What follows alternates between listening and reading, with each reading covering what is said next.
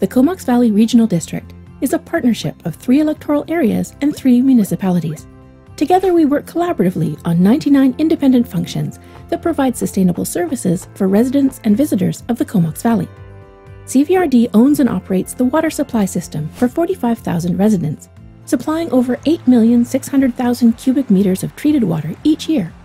In 2019, we began construction on the Comox Valley Water Treatment Project, the CVRD's largest infrastructure project to date. The treatment project is expected to be complete in summer 2021. Look for more information in the spring and progress updates.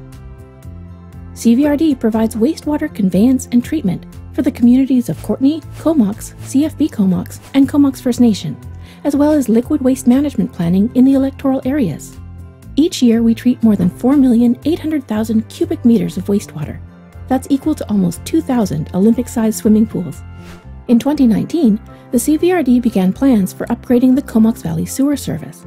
In early 2020, the community will be asked to provide feedback on shortlisted options. CVRD partners with BC Transit and a local operating contractor to deliver public transit services in the Comox Valley. Last year, it provided transportation for over 675,000 riders. The Comox Valley Emergency Program is supported by 65 volunteers, while search and rescue is supported by more than 50. Several rural and community fire department services are also delivered through the CVRD, with more than 130 volunteer firefighters. In 2019, 572 calls were dispatched by North Island 911 to CVRD fire departments. In 2020, the CVRD will look at growth for fire protection services in Electoral Area C.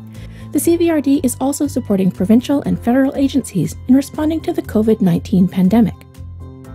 CVRD supports community fitness and fun through the Comox Valley Aquatic Center, the Sports Center, and the Curling Center. In 2019, there were more than 114,500 drop ins at the Sports Center and Aquatic Center, with more than 233,000 total visits. Because the CVRD has over 160 contracts and agreements with organizations around the Comox Valley, the CVRD's finance and administration departments provide extensive support services, such as legislative, financial, personnel, and administrative functions. CVRD delivers local government and services to electoral areas, like street lighting, building inspection, bylaw compliance, and more. They oversee over 150 kilometers of trails and more than 16 square kilometers of green space for residents to enjoy. The Comox Valley Regional Growth Strategy, or RGS, promotes human settlement that is socially, economically, and environmentally healthy.